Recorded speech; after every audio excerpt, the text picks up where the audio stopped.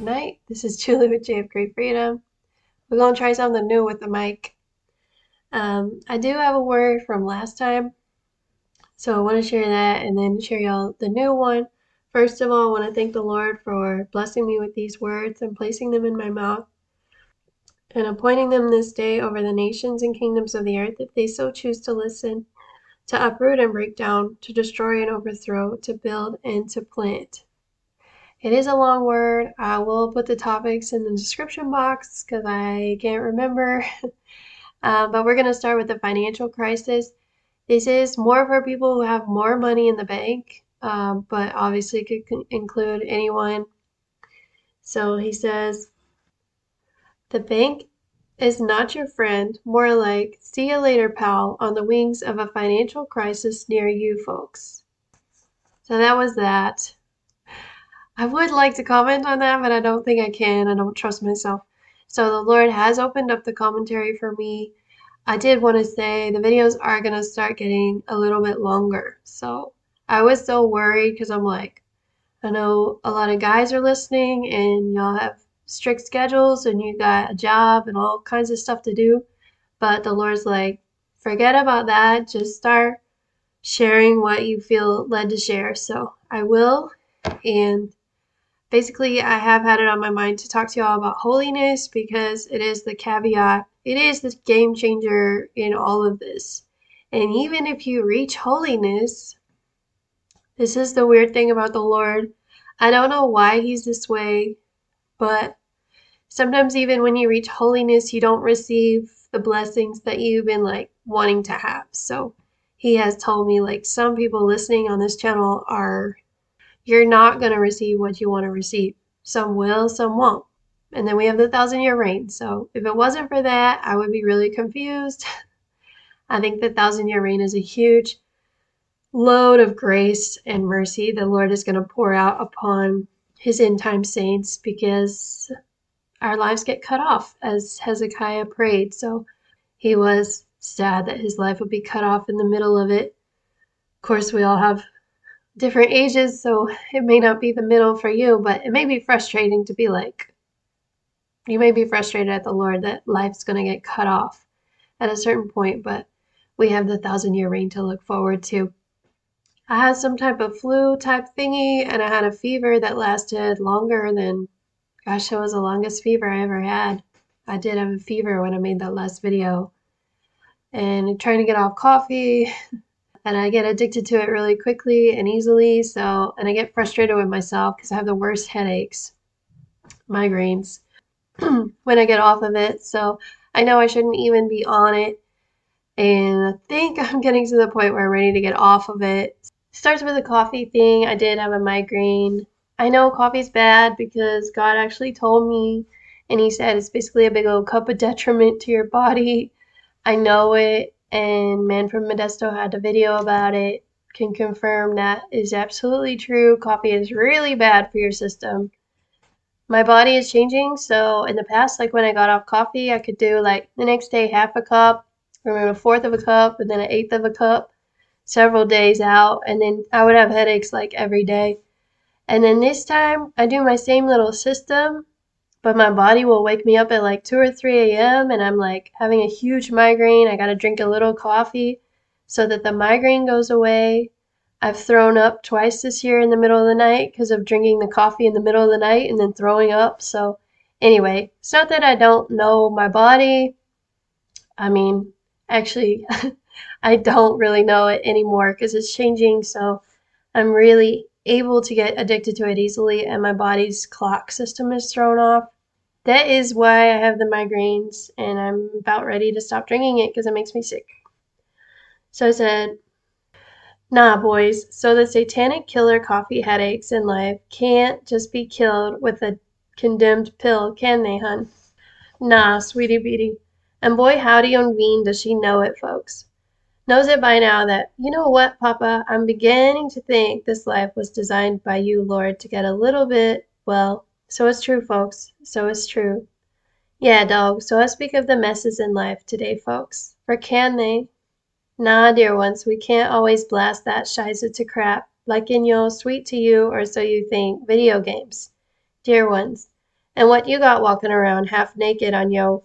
This ain't the 1800s, bro, and ain't no woman around need to be showcasing with a corset or some shiza what she got, bro, like that. And nah, son, ain't no options like loose as hell t-shirts. She tries to hide that shiza finally under for now, boys. For did I? Didn't I tell you, son? I did, bro. Or have been, rather. Yeah, dolls, so I speak of guiding this here chick of mine carefully, dear ones, into her destiny, folks. It screams out to you today in the spiritual realm for you too. And she's been longing to tell you this one, folks, but has held herself back in error actually this time. Of, he said, Yeah, hun, so tell them what I want, babe. So I don't know if y'all ever heard that pastor online who spoke of, uh, he was a black pastor and he did some kind of fast, uh, very many days. And then the Lord confronted him about his problem with lust and he spoke about it and confessed it to the whole church. I was amazed by that story because the way the Lord came across to him, the Lord was like, You have this sin. And the man was like, No, I don't. And then God got angry. He's like, You have this sin. And he's like, No, I don't. And then God had to take him into a vision and show him, like, him. He showed the guy himself acting in a lustful way towards a lady crossing the street or something like that.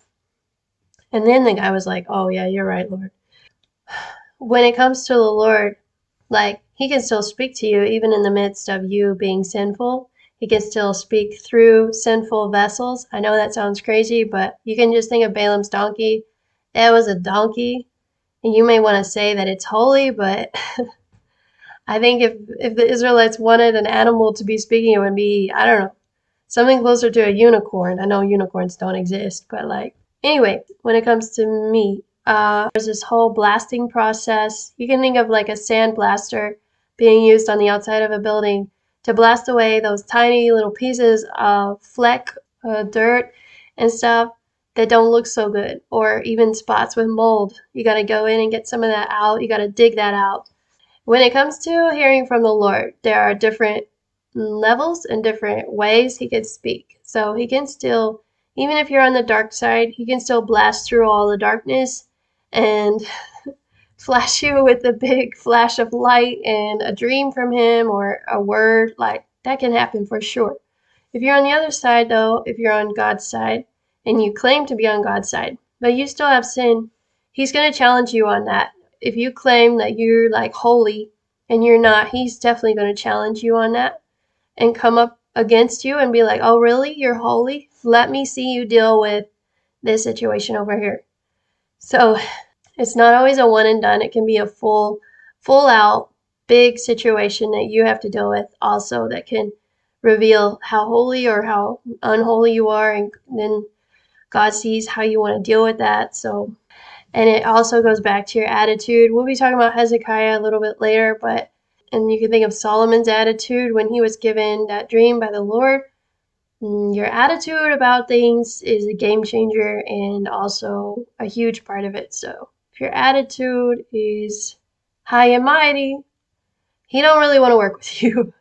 Uh, not so much. Uh, but if you're like, okay, Lord, here I am, make me holy. There are some songs out there like that. I get nervous. I used to get nervous to sing them in the past. I still get even more nervous because I know there's even more in me that the Lord could crush and press to get me to holiness, and I do react out of a sinful way sometimes to certain people. So, uh, and I know it. So anyway, um, that being said, you get closer and closer to that holy status, and it may, and God sees everything, so He sees your your video games you're playing. If you know a certain video game should be taken out, you get rid of that video game. You choose to play a different video game and then God's like, I want you to get rid of that video game too. And then you're like, hmm, what am I gonna do? If you choose to get rid of that video game again and like you keep following the Lord, even though your heart may not be into it quite yet, God honors that. And then you're getting closer and closer to, and then you add leanness of the soul, which is like starvation mode almost. It's like, as the deer pants for the water, so my soul longs for you. You get closer and closer to that status, He's really ready to reveal himself to you in that wilderness. So that is what it takes. That was not very specific, but anyway, that is partly what it takes to get close to the Lord and hear from Him if you want to hear from Him more often. And I think He's getting ready to reveal Himself to many people that listen to this channel. But I think with the world events that are coming up, uh, there's a lot, there's a very high chance God is ready to speak to many people. He's even speaking to the reprobates and others that don't even realize that that storm came from the Lord. Uh, so he's speaking to the whole world at this point. But to us, we will get a more intimate view into the, the throne room. So he said, Yeah, hun. So tell them what I want, babe. And no, boys, it ain't no fasting. Okay, it is a type of fasting, bro but more like, yeah, bro, so those ginormous amounts of food you consume at times, bro, not really a problem, chick. Your heart, son. That's the real place I want the fasting to take place, folks. And the food is just, well, for real deals, just a starter, if you will, dear ones, for what I. It's intense, bro, to know that.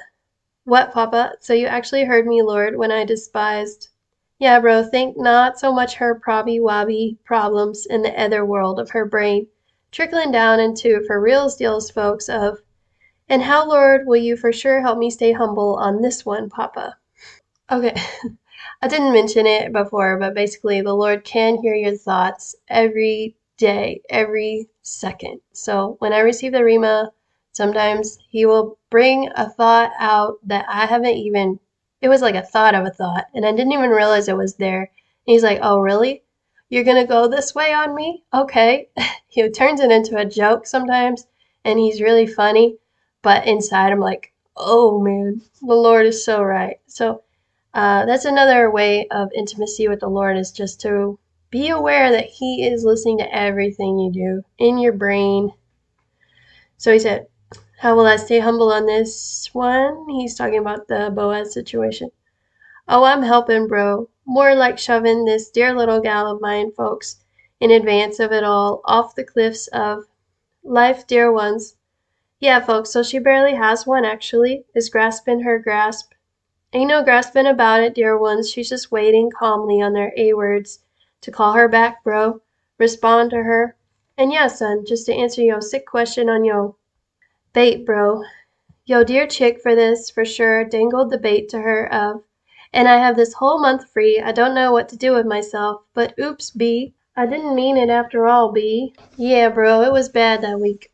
By the way, I emphasize the words the Lord shows me. I'm trying to read it to y'all the way I receive it, okay? Because he emphasizes words and stuff and slows down and gets louder sometimes. Too bad for this chick that she idolizes no one anymore, bro. And I mean it, dog, when I say, okay, let's change topics, dear ones. And what shall I say of you next, my loves? Pain, dear ones. And the pain of rejection like that, folks, when you get the person is smiling in your face, but the knife is slowly slicing up my innards, Lord, all in a move that makes me wanna.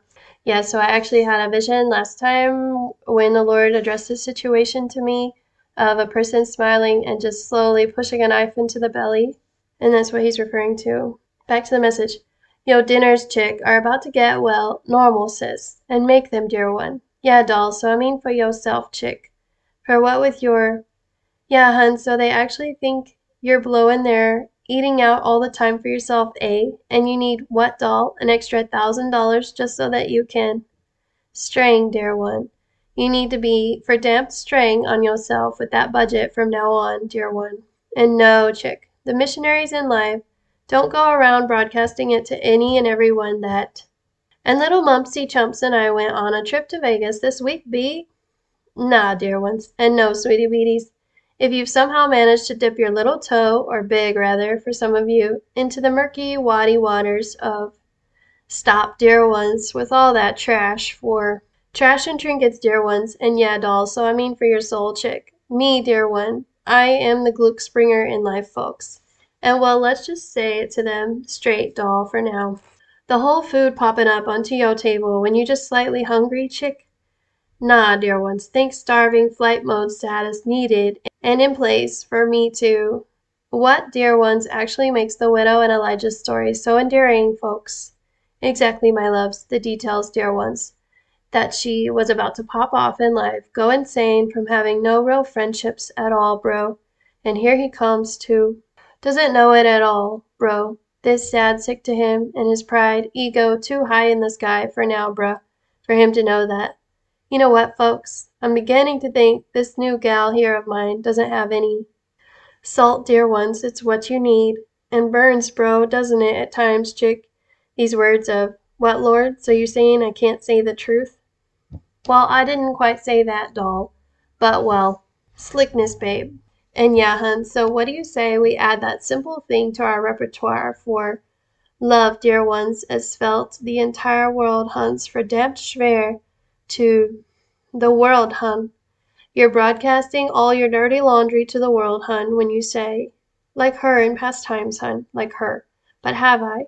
I have, dear one, buttoned up her too cleavagey chest at times brow, in past times, boys, so it's true, dog, so it's true. But should you, yeah, dear one, so they will chick go for the jugular on you, doll, if you don't. Never was no excess in your life, chick, was there? In her lay off her purple at times hair, chick, for does she? She was, dear one, screwed over at the salon. Definitely did not get what she wanted that day, folks, but well, will I, Lord. She did, bro. Have the ballsy balls to, yeah, so Actually, I wanted like an ombre effect on my hair, and that lady like turned me into like an elf from Lord of the Rings that day. And I could tell she was new because she kept asking in some other language what to do to this other person. And uh, in a situation like that, it's pretty easy to guess what they're saying in that other language. So I was like, this chick has no idea what she's doing. I'm going to Google this or YouTube it. And I did. I just ordered the stuff online and I do do my hair myself. I did almost fry it one time, but we made it. I made it through the frying stage and didn't have to chop it all off. So that, that was a, a, a victory in itself. uh, I do put oil on it on the part that I almost fried. So he said, practice it, dear ones. And yeah, dolls, so I mean your new awareness of me. For am I, bro? Yeah, dog. Just because I don't it's silence, folks, for most of the week, in her brain too, except for these. Oops, Lord. And what, bruh? You saw that one too, dog. Yeah, folks, I do. So I do actually love it, bruh, that her understanding of me has shifted to include statements like, and tell me, bruh, if this is a for reals deal, sister in Christ, I need to forgive her, dear ones, her so-called faults in your eyes by now. My mostly lovely listening there listen audience today of yeah, bro, so she ain't bearing that sweet to him pussycat, bro. No, no mo-ho about it, folks. No need to say crickets, bro. It's all we need for now, folks. Uh, yeah, boys.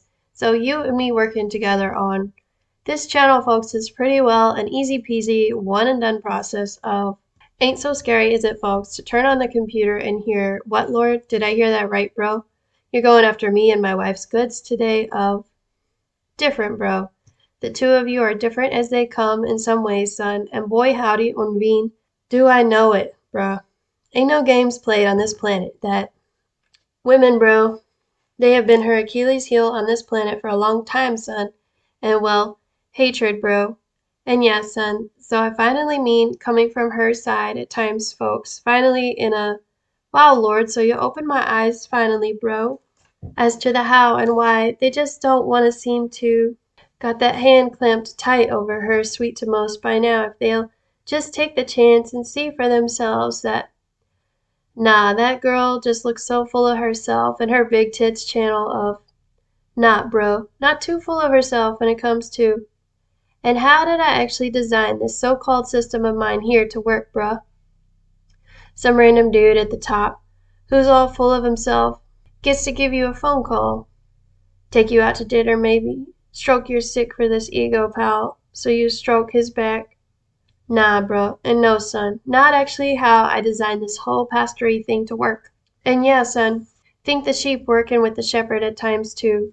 That metaphor, bro, is a little bit too, well, let's just say every now and then one of the so-called stupid sheep morphs into scary at times, ain't it, bro, to see. What, bro? So this little big tits apparently big prophetic gifting in the spiritual realm knows that I choke on my own spit sometimes when I. Nah, bro, ain't like that at all, folks. More like. And, and little Sally Wally over here is waddling her weddle waddle too much, folks. Uh, uh, yeah. So I was thinking about how to explain it, and basically it's like, uh, I know it's a terrible metaphor, but you probably all have seen it. The little mirror in Beauty and the Beast, when she takes it and she's like, show me the beast. That's kind of what it's like. For me, I just get a small vignette, small scene from your life, and I may perceive, usually if I perceive anything, it's the person's heart. So the Lord lets me see the person's heart in a matter and maybe the other person's heart too that was involved, and that's about it. And then it all goes black. It's like it goes black. It's like a curtain drop. That's it. And I'm never I'm never nosy and I don't ask the Lord for more information. Because I know it deep down, sometimes I am too interested in the info, so I'm trying hard to not ask for more info. God sees that. So then in that case, He may not give me any more info about that person, you know? So uh, it just depends. Love you, dear ones, for guessing it astutely on her A today of. And you know what, folks? I think our dear local prophetess in the sky doesn't despise you one ounce for Nah, folks, and no, dear ones, she doesn't. For is she? She is, bro. Finally, a lot like me, and hence she. Uh, and there's a verse in the New Testament it says the Lord likes to use the nothings and the no ones of the world. If you look into the Greek, uh, that means someone with no family. So the things that people have been through to be used by the Lord in certain capacities have sometimes even that in itself just levels the playing field and there's no those people that he likes to lift up are not um, not looking to squash everybody else back down, basically. Uh, my daughters have been doing this thing where they run around the house singing happy birthday to me a lot. And not even saying happy birthday, dear mama, they say happy birthday, dear Julie. And it's making me cry because I have, since I was about 21, I really stopped trying to have good birthdays because I just, and Damaris had a dream, the dream that I shared on the channel, which was a while back. And in the dream, there were people around, and they were they were singing happy birthday to me, and we were having a good time. And she said Jesus was there. So anyway, I wanted to say that because I want to explain to y'all why I'm thinking about Christmas in heaven because everyone's like acting like Christmas is for sure not in heaven, no holidays. People talk about how the birthday cake is like pagan because it's round and it has the candles, you know. But since my daughter had the dream of me uh, celebrating my birthday in heaven, and I don't know if there was a cake, but because of that, I was actually questioning the Lord about a lot of other holidays. Anyway, that's why I was questioning that. So he said, Yeah, doll, so just to answer your sweet to me question of, no, doll, ain't no Christmas in heaven, sweetheart, for you too. Too complicated, doll, for just any and everyone to. And yeah, hun, ain't really no need for gifts, dear ones, of friendship, and for all time, bro. That, silly, is the true purpose of heaven, bro. Yeah, yeah, dog, so I see you, my pasty pastor of the hour, bro. Here he winked. And yes, son, so heaven is actually all about me, folks. But well, what with my bad as hell reputation in this here city, folks of Yo, world, son. And yeah, bro, so I mean, with the onset of World War III, people going bonkers for reals deals finally, bro. And yes, and so I mean, the finally for sure, bro, opportunities for some real as hell evangelism opening up out on them. Ain't no hell about it, bro, for some of them, son, as you open up your your heart, bro. Well, sadly, son, I can see it's finally turning to Mush, bro. When you see them, they're Israelites in the wilderness, running their run away from the pharaohs of the world, dear ones, and their so-called salvation, or so you think, and soon, sis. Nah, hun, and leave them, dear ones. Yeah, folks, so I mean to me. For will I? I won't, dear ones, let them enslave so-called humanity for much longer, folks. And are there, there are some strange creations out there, bro. And fine, son. And nah, bro, no need for you to be searching all up in them. A quick rundown chick of all that's going on in the online Christian community of. Okay, um. We talk about the end times, the weird creations. So basically, my journey started from reading the book called Along Comes a Pale Horse. The guy describes some of the alien files from the government and the US government. He called them the Greys. You can think of the movie E.T. He said some of that stuff was based on fact. So, long story short, one of the first books I ever read of people uh, giving testimony about something was a book about aliens. I read in the library when I was uh, in college. And uh, after seeing the way people have struggle, have a hard time coming up with short stories and original stories as a teacher, uh, that honestly at that time that really freaked me out. I thought those things were like um, I believed I believed in aliens for a long time. I thought they were like um, real creation somehow. The basics are basically anything that's been genetically modified is basically an abomination. So even your green beans that may be GMO, abomination in God's eyes. a baby whose eyes should be blue and they turn purple, abomination. When you start creating anything that's outside the womb of a woman, basically, or even a real baby in an artificial womb, anything besides that, I think, is possibly able to be demonically possessed. So anything that may say it's an alien and it's a free creature from space is basically demonically possessed. So that's easy. It's just good versus evil. And there have been creations created in labs by humans. And I um I think there are some labs that actually are run by demons, but I'm not sure on that. And then there are some just some really weird things out there there are other prophets talking about this stuff in a way more specific way, talking about the creatures they've seen, even in the water, under the water. Some of those creatures are like spiritual, they may not have a full body. Some of them actually may have partially a body somehow, but it can survive under the water. Some things have a full body and they're fully possessed. So there's a lot of weird stuff that you can get freaked out about, but and I don't go down those rabbit trails anymore at all. Uh, but there are people I like to listen to online. So if I hear them start talking about it, I don't turn them off. I like to listen. But long story short, it's good versus evil. It's abomination versus God's creation, which is man. It's David versus Goliath. Uh, there's no need to be freaked out about that. Okay, here we go. Control, dear ones. It's in my hands, you blokesy blokes. My blokes of the hour. Not hers, dear ones. So just, yeah, bruh, think, take it to the house in prayer, bruh, for now, for of all that she, and see it for yourself, bro. If, yeah, dear ones, so it is actually time for me to start speaking with the masses of devilish thoughts you have in your brain, sis, towards her and me, dear ones. It's really me speaking through, so no wonder.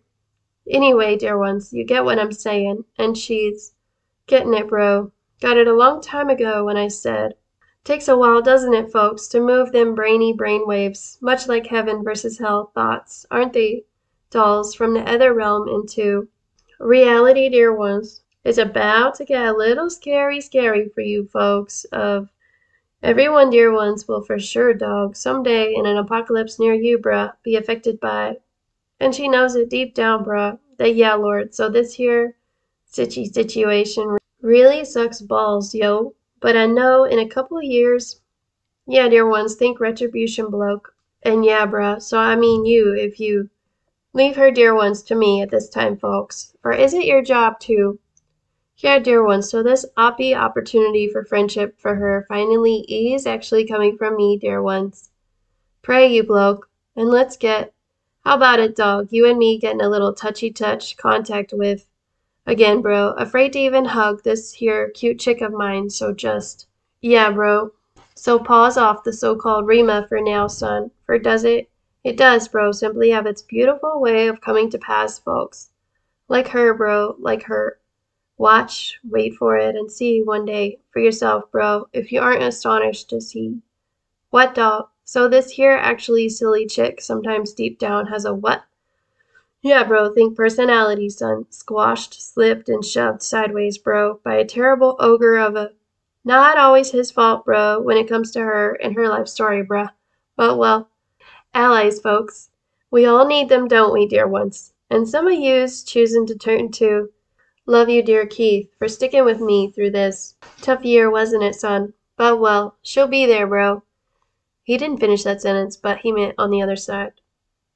Some day, on a sweet day coming up near you, and soon a shh, dear ones, still your little hearty hearts longing for. And did I rebuke her or not, son, in private for? I did, dear ones, finally ask her to calm the F down on pegging me on my own condemned timeline. I did actually tell her, blokes. But well, the Hezekiatresses of the world do exist, dear ones, even if they don't. Complaining, dear ones, deep down on my A today that, yeah, so the Lord did give me a timeline about my death. I was happy about it. And then he told me I'd be sad about it when I finally got this friendship from this guy. And I thought about it. And I was like, well, if God wants me to die at a certain time, then that's it. so I did not pray the prayer of Hezekiah, but the Lord has revealed it to me. He will bless me with a similar blessing to what Hezekiah got, which was more time. So, yeah. By the way, I just want to be clear just because the Lord compared me to Hezekiah does not mean that I take on all the traits of Hezekiah. He was definitely different from me. But we we're both similar in that our life sentence got extended a little bit. This is the praise that Hezekiah gave to the Lord. For Sheol cannot praise or thank you. Death cannot praise you and rejoice in you. Those who go down to the pit cannot hope for your faithfulness. It is the living who give praise and thanks to you, as I do today. A father tells his son about your faithfulness. The Lord is ready to save me. Therefore, we will play my songs on stringed instruments all the days of our lives at the house of the Lord. God bless.